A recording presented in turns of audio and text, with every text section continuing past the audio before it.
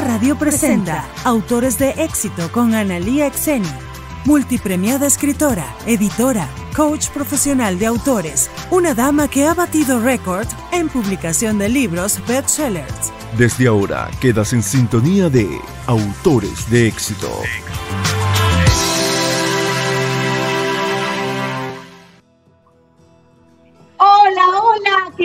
Familia de Autores de Éxito una vez más aquí, en tu casa, en tu familia, en este universo de éxito y felicidad que los construimos juntos. Y hoy te traigo una invitada de honor, realmente una reina desde Colombia, desde Bogotá. Tenemos a una persona que es una estrella, una estrella que ha estado en las Olimpiadas de Tokio, de Río, pero principalmente es una estrella y una triunfadora de su propia vida, porque ha atravesado por tantas adversidades y hoy está aquí con nosotros, entregándonos lo más preciado, su corazón, y nos va a contar muchas cosas para que nosotros nos deleitemos.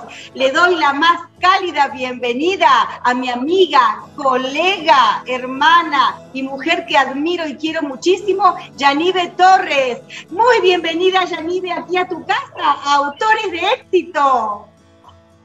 Hola, mi querida Analía, y muy buenos días a todos los que nos escuchan. Quiero darte las gracias por invitarme al programa, que bendecida de verdad que soy al conocer a unas personas tan maravillosas como son ustedes. Gracias, Bellanive, querida. El honor es nuestro de tener a una persona tan maravillosa, con un corazón tan grande, con un corazón gigante que late, eh, despidiendo amor, entregando amor al mundo. Y bueno, quisiera, querida audiencia, decirles que presten mucha atención porque en esta entrevista se van a llevar un alto nivel de motivación, de inspiración. Van a salir, pero súper, súper engrandecidos a querer hacer grandes cosas en su vida, como lo ha hecho esta maravillosa mujer. Yanive, quisiera hacerte una pregunta súper importante. Quisiera que cuentes a la audiencia de acá de Autores de Éxito quién es Yanive Torres. Y cuando digo quién es Yanive Torres, quiero que cuentes acerca de tu vida, de tu infancia, de tu juventud, de todo lo que has hecho hasta el día de hoy, que has hecho tantas cosas. Me gustaría que eh, nos compartieras todo lo que quisieras decir acerca de esta gran, maravillosa reina que es Yanive Torres. Adelante, mi amor, estás en tu casa, estás acá en tu hogar y tu familia que te escucha con muchísimo cariño.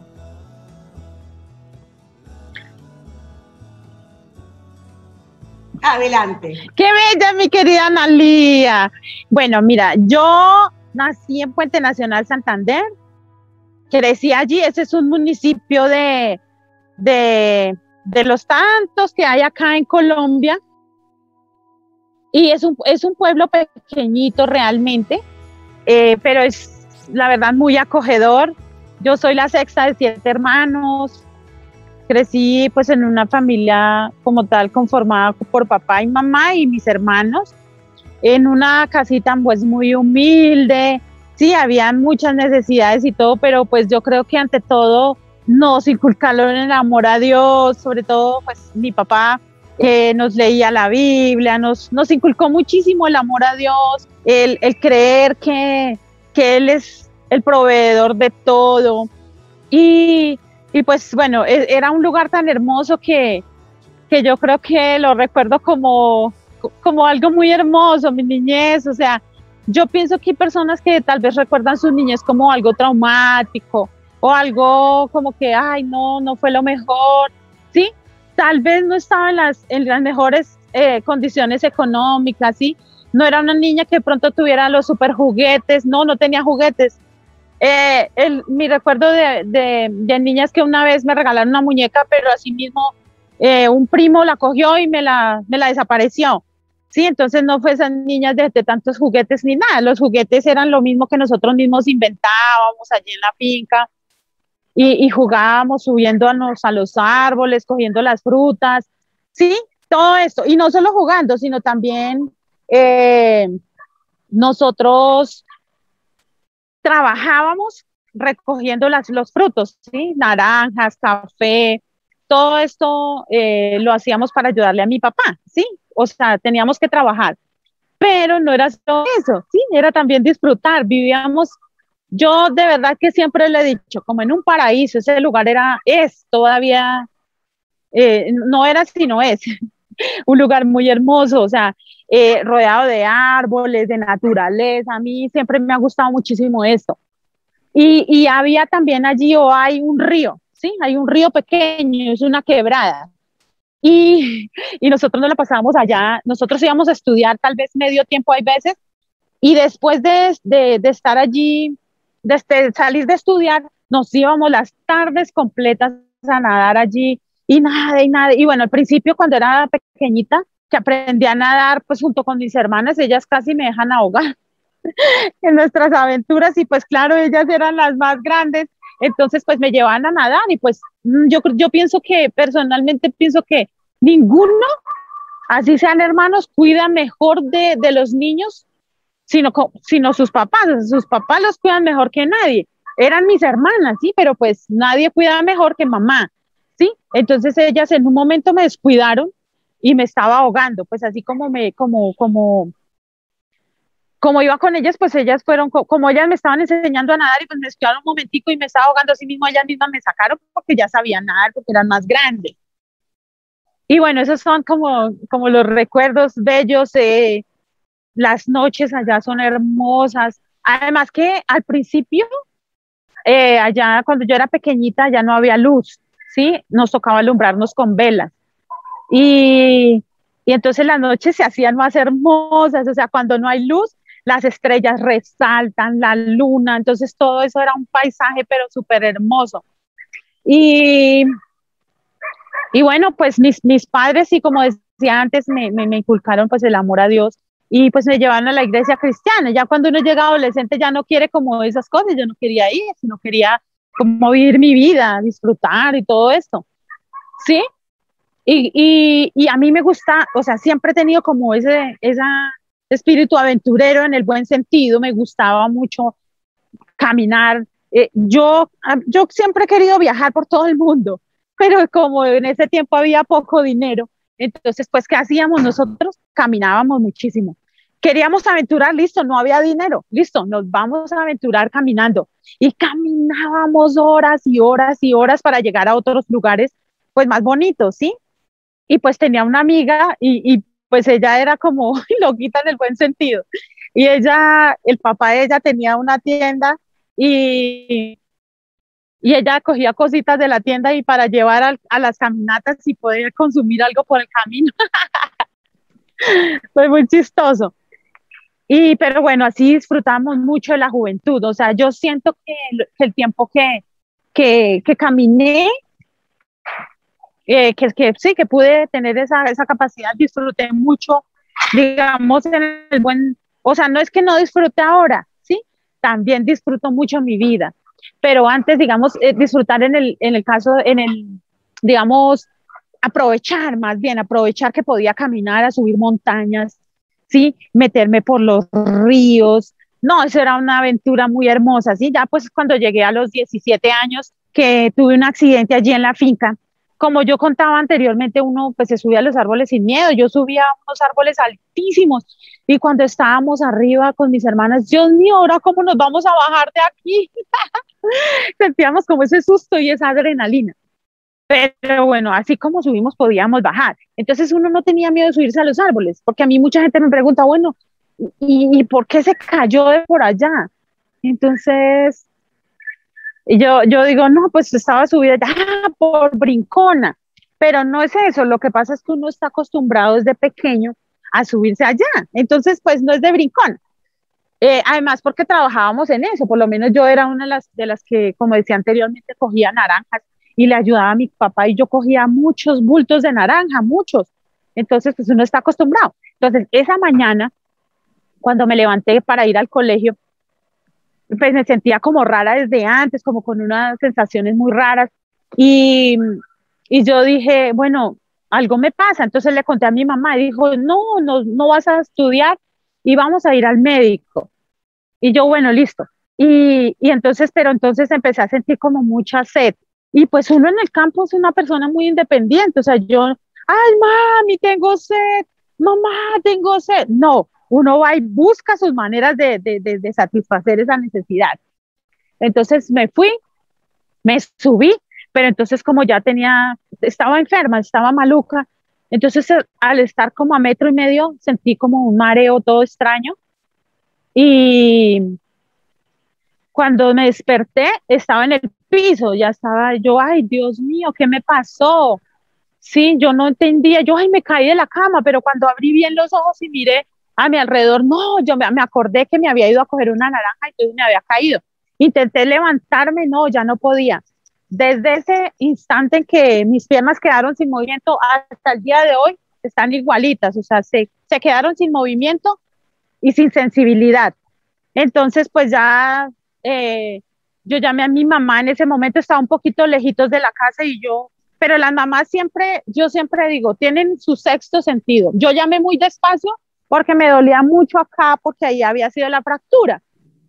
Y mi mamá de, inmediatamente llegó y, uy, ¿qué le pasó? Y mi mamá, todo, uy, como que, sí, eh, de pronto mi mamá no es de esas mujeres que, que tal vez, ay, no, qué amor y te amo y no, ella no es de esas mujeres porque pues tal vez nunca lo recibió, pero ella demuestra su amor de otras maneras, ¿sí? Eso no significa que no me ame, ¿sí? Claro que me ama y, siempre me ha amado, pero no lo demuestra tanto. Pero cuando ella me vio en esa situación, yo, ella se puso a llorar y, dice, y yo le decía, madre, ma, no siento las piernas, no siento. Y pues ella tal vez, tal vez se imaginó, pues uno de su, yo la verdad no, no tenía conocimiento de nada de esto, no me imaginé nunca que pues que algo así me fuera a pasar, una niña pues como tan alegre, tan, tan llena de energía, de vida, o sea, jamás en la vida uno se, se podría imaginar algo así. Entonces, pero ella tal vez sí, pues claro, ella con su experiencia, tal vez ella había escuchado otros casos de personas que, pues que si se les duermen las piernas no vuelven a caminar. Entonces inmediatamente me recogieron, me llevaron al médico y pues yo inocente de todo. Llegué allá y, y bueno, me, me tomaron la radiografía. Em, tal vez ellos se imaginaban algo muy grave, obviamente, porque ya después de, o sea, ellos sí conocen, mejor dicho, no es como uno que no sabe. Y, y de ahí me trasladaron a otro lugar como a seis horas. Y mi padre todo el camino me hablaba de, las historias de Job, que con tanta paciencia, que tenía que yo tener mucha paciencia, que pues lo que viniera, no sé, tal vez se lo imaginaba. Y me contaba todas sus historias de su juventud y todo lo que sufrió y que tenía que él, él decía, yo tuve que tener mucha paciencia, mi hija, entonces hay que tener paciencia con lo que venga, con lo que Dios nos manda, tiene que tener paciencia. Y, y hábleme y hábleme todo el camino y yo ahí como con ese dolorcito y como maluco. Cuando llegamos allá a la otra ciudad, a, una ciudad, porque pues yo iba era de un pueblo, y llegamos allá y, y los médicos dijeron, ay, ¿qué, eh, ¿qué emergencia es esta? ¿Qué no, esa, esta niña se partió la columna. Entonces ellos dijeron, por allá escuché que tras mío dijeron, dijeron, ay, qué pesar tan bonita que iba a ser. Y yo, ¿cómo así? Pues para entre mí pensé, ¿cómo así? ¿Me voy a morir o qué pasó? No entiendo, yo no entendía nada. Y bueno, entonces allí en, en esta ciudad descubrieron que, que yo tenía una hepatitis y por esto no, por esto me había dado el desmayo. Entonces tenía una hepatitis que tenían que tratar y ahí sí poder hacer una cirugía de columna. Entonces ese, ese, tiempo fue como unos 20 días que duré allí en este hospital para que me trataran rápidamente la hepatitis y ahí sí poder hacer cirugía. Entonces, tiempito antes de hacerme la cirugía me dijeron, le, le hablaron con mis padres, con mi hermano, le dijeron pues la situación como era, me dijeron, no, ella no va a volver a caminar, ella nunca va a volver a caminar, o sea, no, no es que se vayan a hacer ilusiones que le vamos a hacer una cirugía para que camine, no, eso no va a pasar dijeron, esa cirugía es para que ella se vuelva a sentar, porque todo ese tiempo duré acostada, todo el tiempo. Y, y Dios ha puesto todo el tiempo en mi camino personas extraordinarias que, que han ayudado a, hayan ayudado en mi proceso.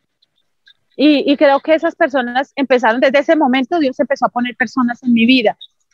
Puso a una persona que él se llama San Miguel y él, y él habló con una persona de allá del hospital porque a mí me tenían en urgencias. Y cuando uno está en urgencias, a uno lo dejan en una sola posición. Y cuando uno está en una sola posición, es peligroso que se le forman escaras eh, en diferentes partes del cuerpo. Yo vivo tan agradecida con él porque él habló con una amiga de allá y cuando él habló con esa amiga, a mí me subieron de una vez a un piso. Y eso evitó que, se me llenara el cuerpo de escaras porque mis compañeros, algunos de mis compañeros hablan de unas es que no es una herida pequeñita, es un hueco donde cabe una mano. Entonces yo vivo agradecida por eso, primeramente con Dios. Entonces me trasladaron a piso y ellos me cambiaban de posición y yo peleaba, yo decía, ay no, yo estoy cansada, así déjeme boca arriba. Pero uno en su inocencia porque no sabía. Ellos me decían, no, no, no, me regañan, no, no, no, tengo que cambiar la posición. Y bueno, el hecho de que, de que otra persona me hiciera todo, me bañara, ay, no, para mí era terrible, no, eso era muy duro. Pero sin embargo, pues nunca fui rebelde tal vez, ¿sí? No fui como que, y tal vez fui como muy demasiado paciente al no exigir que fuera una mujer que me bañara, era un hombre y yo, en mi, yo una niña, ¿por qué un hombre tiene que bañarme? Qué horrible. Pero aún así no decía nada, demasiado paciente, demasiado, ya como que y bueno, todo esto así inició un proceso, pues para mí fue muy duro. Cuando me dijeron que no podía volver a caminar, yo me negué totalmente. Eh, en todos los procesos hay una negación. Yo me negué totalmente. Yo dije, no, acepto esto. Esto no, no, no, yo voy a caminar y yo voy a caminar. Yo no sé de qué manera, pero yo sé que Dios va a hacer un milagro. ¿Sí? Yo voy a caminar. ¿Sí? Y, y, bueno, desde ese mismo momento, aunque no, yo creo que, yo pienso que la pasión mía por leer venía desde antes, porque yo a veces llegaba, pero esto es un secreto, un secreto a voces, hay veces llegaba tarde al colegio y entonces nos decían, nos decían, bueno, ustedes llegaron tarde, no pueden entrar a la clase. Y yo, ay, no, Dios mío. Y pues yo lo que hacía era meterme a la biblioteca y ponerme a leer, ¿sí? Aprovechaba el tiempo yo me ponía a leer, me gustaba muchísimo, yo como esa capacidad de imaginar lo que había en el libro era hermoso, yo lo recuerdo como algo muy lindo porque, porque no era que yo leía y como que no, no, yo empezaba a imaginar todo lo que leía y para mí era súper mágico, era hermoso. Y bueno, y cuando estaba yo allí en esa situación en, en, el hospital, me refugié en los libros, yo leía mucho, leía y eso me alejó un poquito de la situación en que estaba viviendo, ¿sí? Entonces, eh, bueno, ya el proceso de la cirugía, todo súper bien porque pues un, cuerpo joven, pues creo que tolera mucho mejor una cirugía que, que un cuerpo mayor. Entonces, bueno, todo súper bien, la cirugía, bueno, los dolores, pues bueno, normal porque pues hay que afrontarlo y bueno, con medicamentos y todo eso. Estaba muy delgada porque no quería comer, eh, ya después me sacaron de la clínica y recuerdo tanto algo que me impactó, o sea, impactó mi vida, que eso fue un momento muy, muy, muy difícil, que mi mamá, pues como podía, me vestía, ¿no? Y, y porque pues yo era grande, o sea, el cuerpo grande, sí, tenía 17 años y era alta. Entonces ella como podía me, pues, me bañaba, me vestía, dijo, y entonces un día con mi hermano dijeron, bueno, la vamos a llevar a un centro comercial. Todavía estábamos en aquella ciudad donde me operaron, pero ya fuera del hospital, ya me habían dado salida. Y ellos, mi mamá me vistió para llevarme a un centro comercial que había muy cerca. Y cuando ella me vistió y nos dijo, vamos, y me llevó en la silla, y yo me, me miré en el espejo y no, no pude. Yo me puse a llorar y y yo dije, no, no quiero salir. No, hasta ahí fue, no, no quise salir. Yo dije, no, no, no quiero salir. No, no quiero verme, no quiero verme, no quiero verme. Odio esta silla, la odio, la odio, la odio.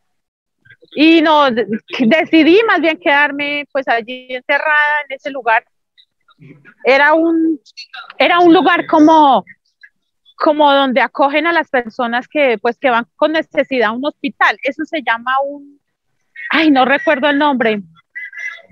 Es de como de beneficencia, o sea, las personas van de paso allí mientras están en sus vueltas médicas y después se van para su casa y pues uno paga muy poquito, mi papá pagaba muy poquito por eso. Y bueno, de ahí, bueno, los médicos me trasladaron a, me dijeron, no, es mejor que se vaya a un lugar donde le, donde le hagan una rehabilitación más completa.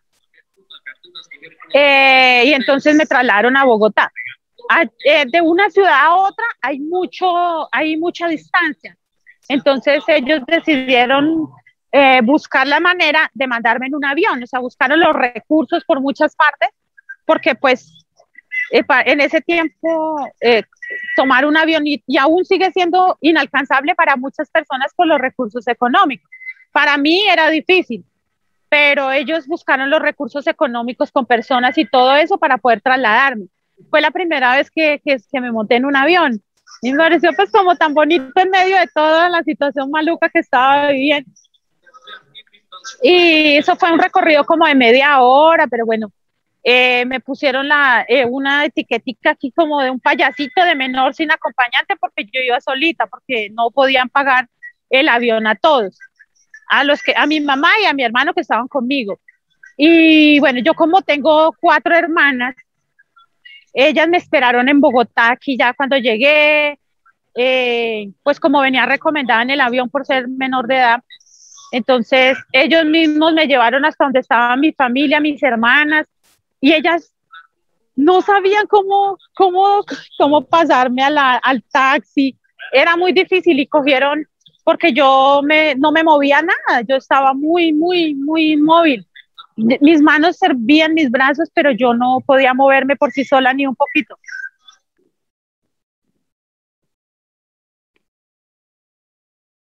Bueno, continuamos acá Continuamos acá con nuestra invitada de honor, con nuestra estrella, con Yanive Torres. Princesa, te seguimos escuchando porque tus palabras nos están pero llenando el alma de inspiración y de motivación. Adelante, Yanive.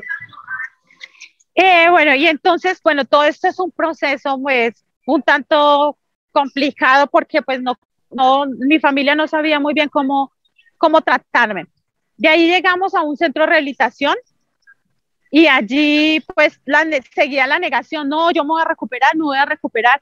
Y bueno, todo es un proceso de aceptación. Después eh, regresé a la finca, pues fueron momentos un poco difíciles porque la, movilidad era difícil, tenía que moverme en la silla, entonces no, yo no aprendí a moverme solita ni a manejarme solita, sino que mi mamá tenía que ayudarme.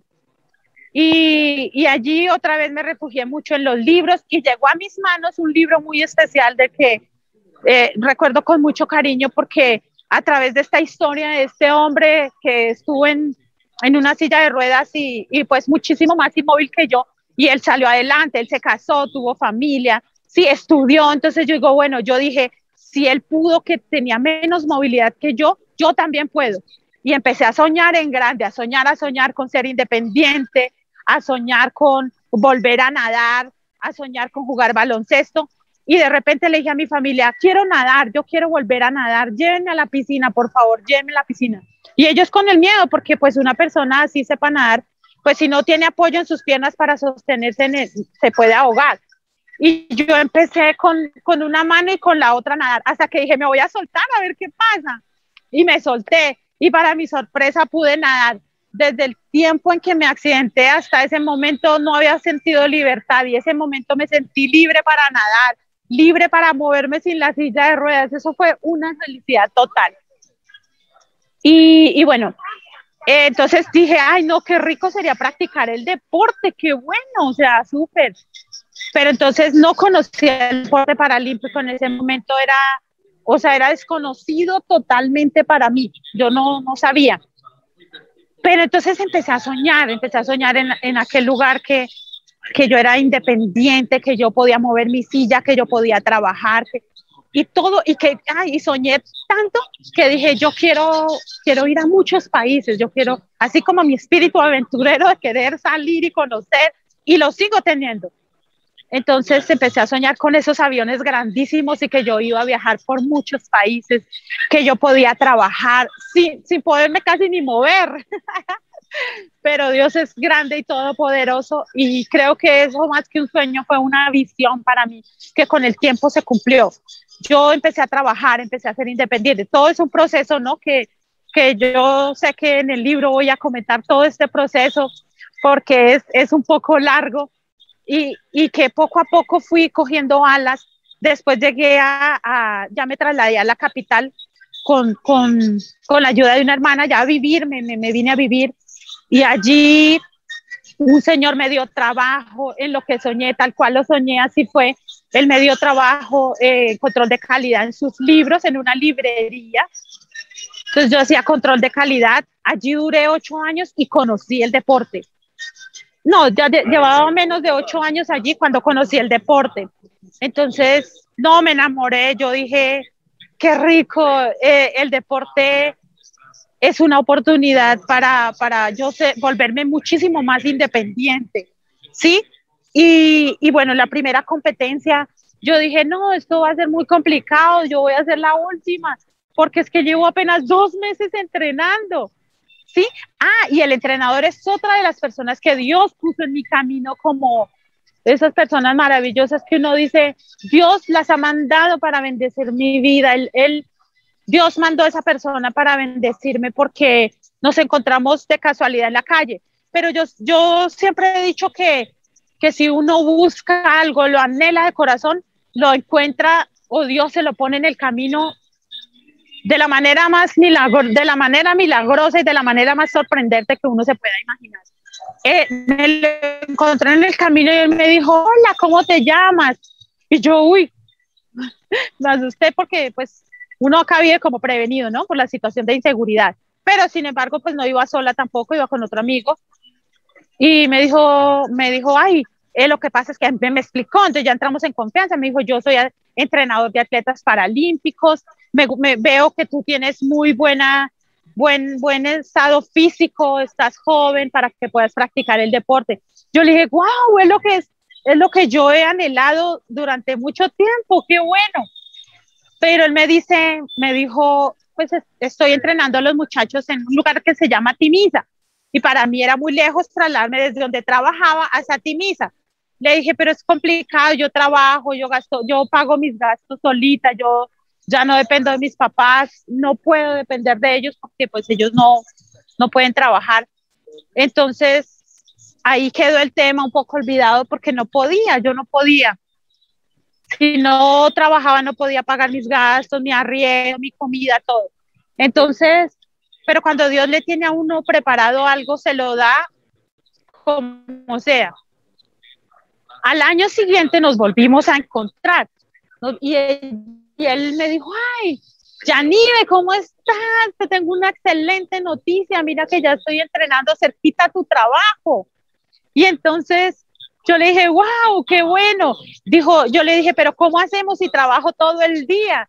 Y entonces él me dio la oportunidad de que, de que entrenáramos. Tan pronto yo salí a trabajar, tenía que irme rodando alrededor de una, unos 40 minutos para llegar hasta donde él estaba entrenando pero él me dijo, no importa, vamos a, usted se tiene que esforzar para llegar a entrenar, ¿sí?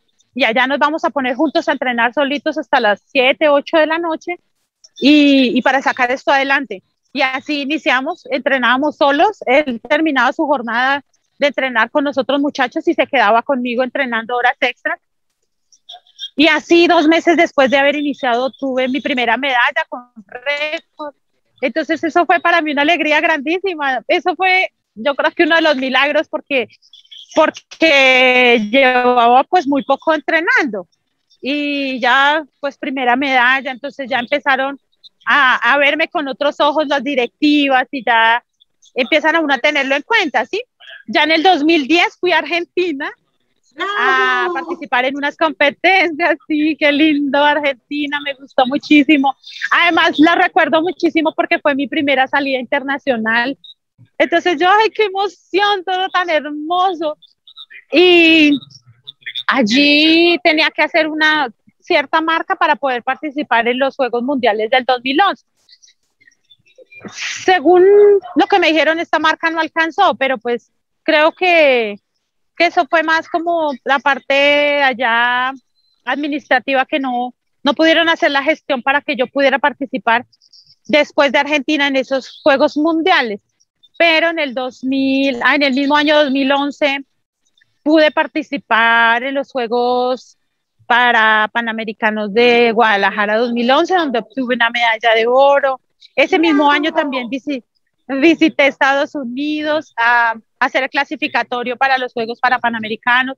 Allí obtuve un, un récord americano en la bala.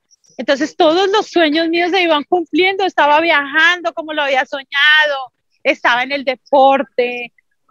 Entonces, no, o sea, eso para mí súper grande y sorprendente hasta el día de hoy, todo lo que ha ocurrido en mi vida. Eh, ha sido todo, todo lo que ha ocurrido ha sido de una manera milagrosa, de una manera espectacular. Y ver los sueños cumplidos es la satisfacción más grande que uno puede tener. Entonces, todos los sueños se iban cumpliendo. Ya esa medalla de Juegos para Panamericanos en Guadalajara 2011 fue para mí un impulso para continuar. Entonces, cada vez uno se va motivando más, se va motivando más y soñando más en grande. Ya en el 2012 me convocaron a los Juegos Paralímpicos de Londres y no, pues qué felicidad. Yo estaba, estaba muy cerquita de obtener una medalla paralímpica. Eh, allí en Londres no se dio, no se dio porque la silla no me la avalaron, me tocó en una silla prestada, pero bueno, la experiencia de haber participado en estos Juegos Paralímpicos y haber obtenido un doceavo lugar y un noveno lugar, para mí fue una experiencia muy linda y, de, aprender, de aprendizaje sobre todo. Después mi, mi, mi proceso deportivo siguió, estuvimos en, el mundial al otro año, el mundial de Lyon, Francia, y de estar novena en, el, en, Londres 2012 pasé a ser cuarta en, en Lyon 2003 en el mundial. Y bueno, siguió mi, mi proceso deportivo. En el 2014 obtuve tres medallas de oro para suramericanos. En Toronto, Canadá, estuve en el 2015 en los Juegos para Panamericanos y allí obtuve una medalla de plata en lanzamiento de disco. Ese mismo año, eh, Juegos Paranacionales, acá en Colombia, interno, eh, donde obtuve tres medallas de oro.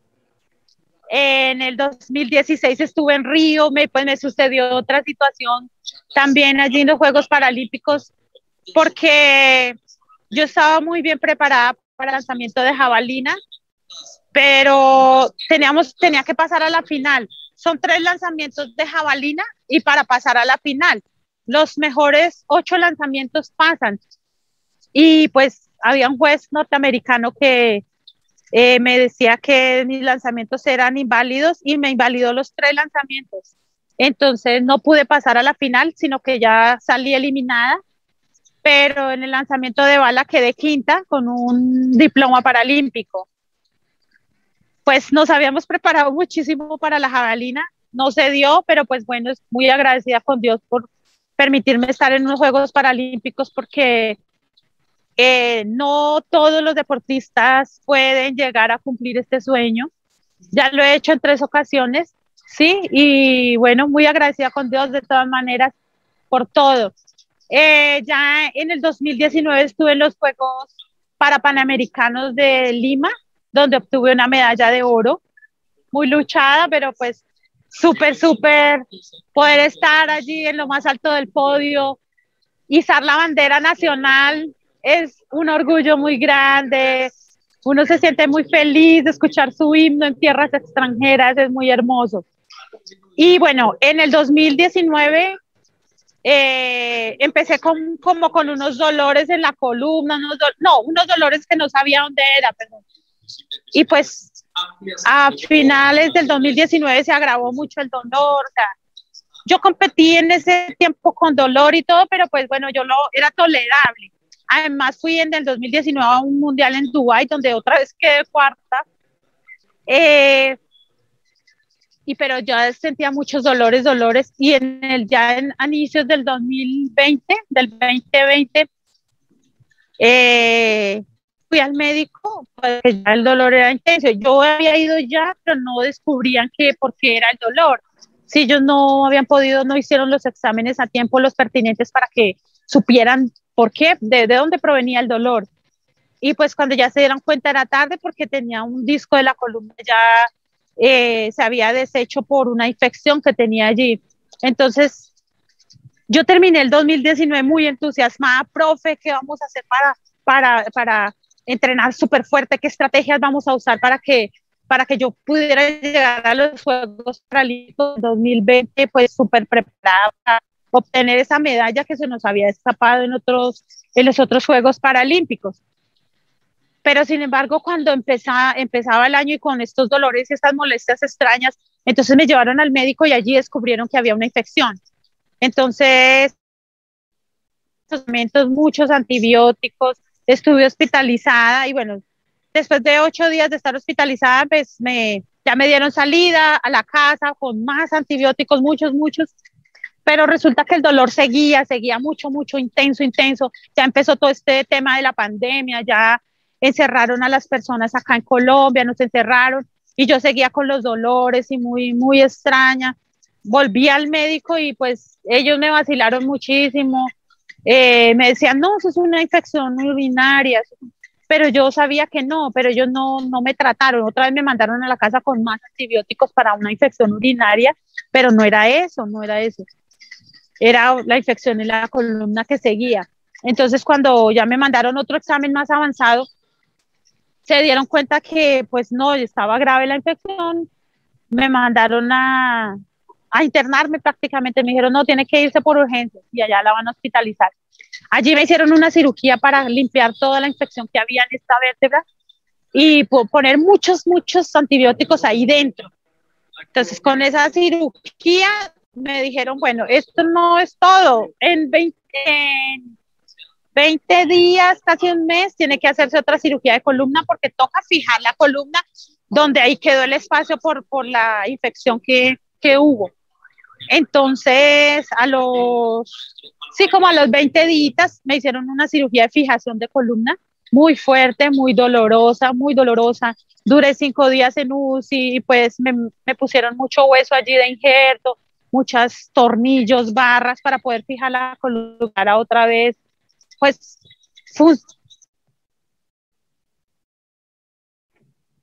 Bueno, bueno, bueno, querida audiencia, estamos en la parte final de esta maravillosa entrevista, donde esta estrella paralímpica que es Yanive Torres nos va a contar qué sucedió después de esa cirugía y a dónde fue, a dónde fue con su carrera como una gran atleta. Adelante, princesa, te escuchamos en la parte final de esta entrevista.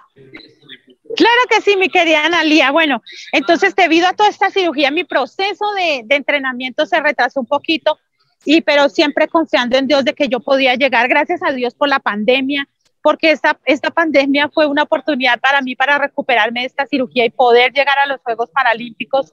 Y yo creía siempre que podía llegar, yo creía, yo decía, yo puedo llegar, yo puedo llegar. Había momentos de desánimo que decía, no, es imposible, pero siempre estuvo la fe en Dios de que yo podía llegar y bueno, nos preparamos mucho y fuimos, fuimos avanzando poco a poco para poder llegar a los Juegos Paralímpicos y finalmente pude estar y, y pues bueno, quedé cuarta otra vez, pero muy agradecida con Dios. Es un cuarto lugar que me sabe a oro porque fue muy difícil llegar hasta, hasta Tokio, llegar a, a participar en estos Juegos Paralímpicos. Lo veía muy difícil por esta situación que pasamos pero bueno, fue una experiencia inolvidable, es un país que nos acogió de la mejor manera, es una gente amable, es una gente muy hermosa, lo disfruté al máximo. Y, bueno, y, la alegría que, que, tengo también en mi corazón, es un sueño espectacular que he tenido desde hace muchos años y es de convertirme en escritora, poder eh, escribir mi propia historia, poder poner un granito de arena para que las personas que necesiten puedan, que a las personas que, que, necesiten les pueda llegar este libro, que puedan ser de una gran motivación y así como un día un libro a mí me llegó a, ese libro me llegó a mis manos de este hombre que estaba cuadripléjico y, y con esa historia de vida de él, yo, yo pude inspirarme y pude decir, yo también puedo. Asimismo, yo quiero contribuir para que muchas personas puedan tener mi, mi, mi, libro, puedan tener mi historia, puedan tomarla como un referente para, para decir también yo puedo. Si así no tengan una discapacidad, sino cualquier otra situación, y que puedan decir yo puedo, yo puedo creer que Dios puede obrar en mí y cumplir esos sueños tan anhelados y tan grandes que tengo. Entonces, para mí es una alegría muy grande poder decir en diciembre saco mi libro, ¿sí? Y tengo la fe puesta en Dios de que este libro va a llegar no solo a Colombia, sino a muchos lugares, a cada rincón del mundo para que este mensaje le llegue a las personas y puedan ser de motivación, pueda ser de, de, de inspiración para que también digan, puedo cumplir mis sueños, puedo lograrlo. Sí, no hay límites, no, no, no tengo que rendirme ante la primera, ante el primer obstáculo que se me presente. Entonces, esa es, esa es mi alegría más grande en este momento. Bueno, y estoy tan agradecida, agradecida contigo, Analía, con Rosemary, porque sé que ustedes son personas que Dios puso en mi camino para, para cumplir ese tan anhelado sueño mío de, de llegarle a miles y miles de personas con esta historia. Claro que sí, claro que sí, querida audiencia.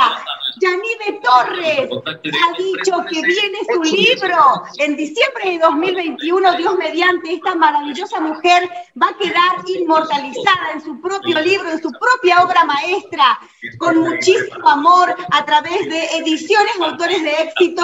Tengo el honor de ser su editora y a través del marketing de Rosmarie Sánchez, juntas trabajando para esta bellísima mujer, para que su historia impacte a millones de personas.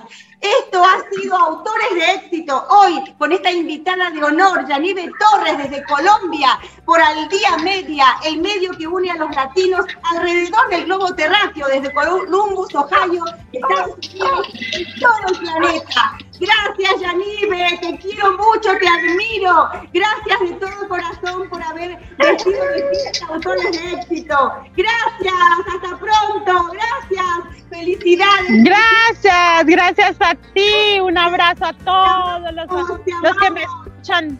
Dios los bendiga.